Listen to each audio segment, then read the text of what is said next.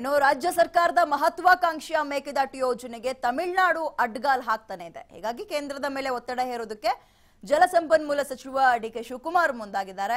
ನಿನ್ನೆ ರಾಜ್ಯ ಸಂಸದರ ಜೊತೆ ಮೇಕೆದಾಟು ಯೋಜನೆ ಬಗ್ಗೆ ಚರ್ಚೆ ನಡೆಸಿದ ಡಿ ಕೆ ಶಿವಕುಮಾರ್ ಇವತ್ತು ಕೇಂದ್ರ ಸಚಿವೆ ನಿರ್ಮಲಾ ಸೀತಾರಾಮನ್ರನ್ನ ಭೇಟಿಯಾಗಿದ್ದಾರೆ. ನಿನ್ನೆ ನಡೆದಂತಹ ಸಭೆಯಲ್ಲಿ ಮಾಜಿ ಪ್ರಧಾನಿ ಎಚ್ ಡಿ ದೇವೇಗೌಡ ಮಲ್ಲಿಕಾರ್ಜುನ ಖರ್ಗೆ ಕೇಂದ್ರ ಸೆಂಟ್ರಲ್ ಅವ್ರ ಕೈಲಿ ತಲುಪಿದೆ. ಸೊ ಆ ದೃಷ್ಟಿಯಿಂದ ಇವತ್ತು ನಾವು ಒಂದು ಬ್ಯಾಲೆನ್ಸಿಂಗ್ ರಿಸರ್ವಯರ್ನ ನಾವೇನು ಮಾಡ್ತಾ ಇದ್ದೀವಿ ಇದು ಬಹಳ ಯೋಗ್ಯವಾದಂಥ ಸೂಕ್ತವಾದಂಥ ಸ್ಥಳದಲ್ಲಿದೆ. ಈ ಡ್ಯಾಮ್ ಆದಮೇಲೆ ಎರಡು ಕಿಲೋಮೀಟರ್ಲೇ ತಮಿಳುನಾಡು. ಒಂದು ಎಕರೆ ಕೂಡ ನಾವು ನೀರಾವರಿ ಮಾಡ್ಕೊಳ್ಳಿಕ್ಕೆ ಒಂದು ಅವಕಾಶ ಇಲ್ಲ.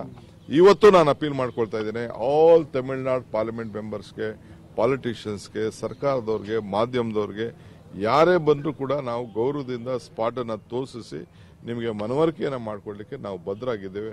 ವಿ ಅಪೀಲ್ ನಾವಿಬ್ಬರು brothers let us not fight ಆ ಹೊಡೆದಾಟ ಕಾಲ ಮತ್ತೊಂದು ಕಾನೂನು ವ್ಯವಸ್ಥೆ ಎಲ್ಲ ಆ ಕಾಲ ಎಲ್ಲ ಹೊಂಟೋಯ್ತು ಈಗ ಬಿಟ್ಟು ಸೌಹಾರ್ದತೆಯಿಂದ ಇಬ್ರು ಕೂಡ ಒಬ್ರು ಒಬ್ರು ಅರ್ಥ ಮಾಡಿಕೊಂಡು ಇಬ್ರು ಕ್ಷೇಮ ಕೂಡ ನಮಗೆ ಇಲ್ಲಿ ನೋಡ್ಕೊಳ್ಳುವಂತ ಒಂದು ಅವಶ್ಯಕತೆ ಇದೆ still again I appeal to the people of Tamil Nadu appeal to the politicians of Tamil appeal to the government of of appeal to the media of media please come.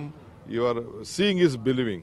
ನೀವು ಕಣ್ಣಲ್ಲಿ ನೋಡಿ ಪ್ರತ್ಯಕ್ಷವಾಗಿ ನೋಡಿ ವಿಚಾರ ತಿಳ್ಕೊಳ್ಳಿ ನಮ್ಮ ವಿಚಾರ ಕೇಳಿ ಕೇಳ್ಬಿಟ್ಟು ಖಂಡಿತ ನಿಮಗೆ ಮನವರಿಕೆ ಮಾಡಿ ಏ ಕರ್ನಾಟಕ ಒಳ್ಳೆ ಕೆಲಸ ಮಾಡ್ತಾ ಇದೆ ಅಂತ ಹೇಳೋಷ್ಟು ನಿಮಗೆ ಜ್ಞಾನ ಉಂಟಾಗ್ತದೆ ಅಂತೇಳಿ ನನಗೆ ಸಂಪೂರ್ಣವಾದಂಥ ನಂಬಿಕೆ ಇದೆ.